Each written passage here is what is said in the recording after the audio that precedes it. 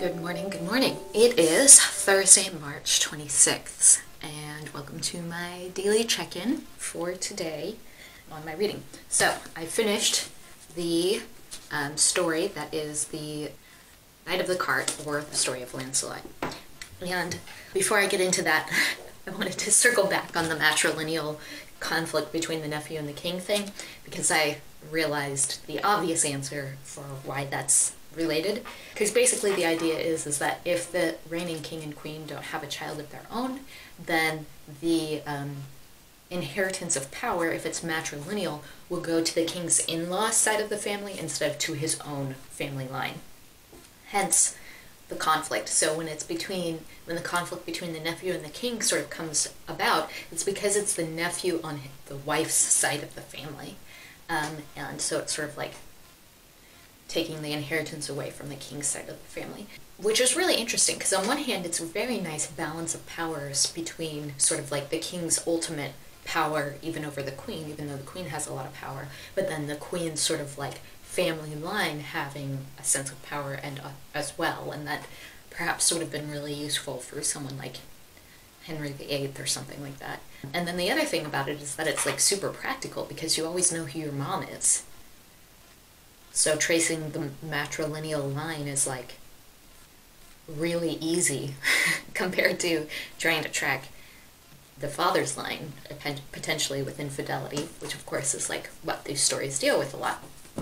Okay, so back to Lancelot and the, the Knight of the Cart.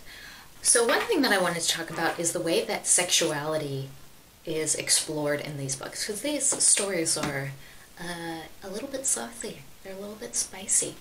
They're a little bit uh, sexy.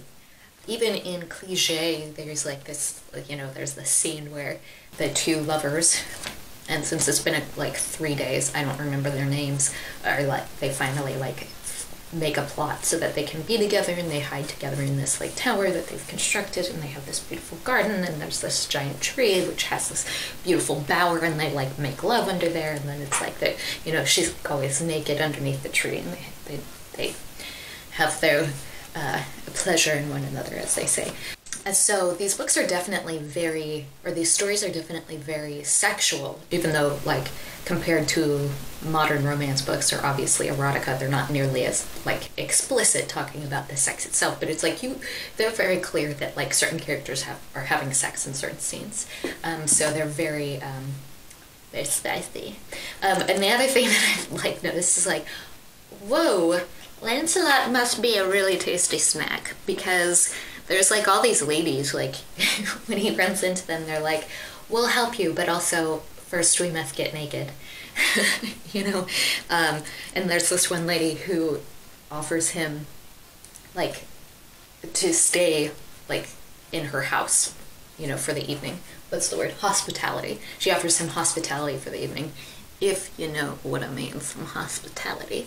And basically, she like sets it up so that she has her own soldiers like pretend to attack her in her bedroom in such a scenario where she's basically like completely naked and it's like absolutely topless and so like Lancelot has to like charge in and be like oh get off her you fiend and even though he's totally not interested in other women because he's absolutely in love with Guinevere he, you know he, he actually like kills a couple of her men before she like calls it off and she's like oh it was just a you know a little thing to see if you would come in and save me or whatever. And she's like all naked. Um, which is really funny. And like her whole thing is like, oh, you can stay the night at my house, but we have to share a bed. Like you have to promise that you'll share a bed with me. So, uh, and then that happens, you know, with another character in the book where she's like, oh, I'll give you your freedom. I'll let you out of this like prison where you're imprisoned, but you have to like swear your body to me, you know. And so it's just very funny. Uh, Lancelot was apparently a tasty snack. That's what I'm getting out of this story. So, yeah, so sexuality. And I think, you know, that holds true for a lot of other medieval literature. So, even like Sir Gawain in The Green Knight, when he goes to the castle of the king who ends up being the Green Knight and transforms into him later, where he has the, the game of courtliness with the wife while he's like recovering from his journey. Um, like she's very sexy and seductive and is basically naked in certain scenes.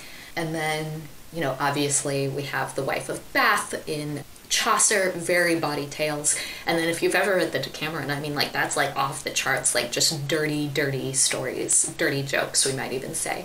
So it's really interesting to see, like, how, even though these are stories of courtliness, how much sexuality is, like, really being intertwined uh, uh, in these stories, and along with obviously some of these religious themes, like we talked about yesterday with the sort of like Moses um, allegory here. So, always so, so interesting. These stories are really good.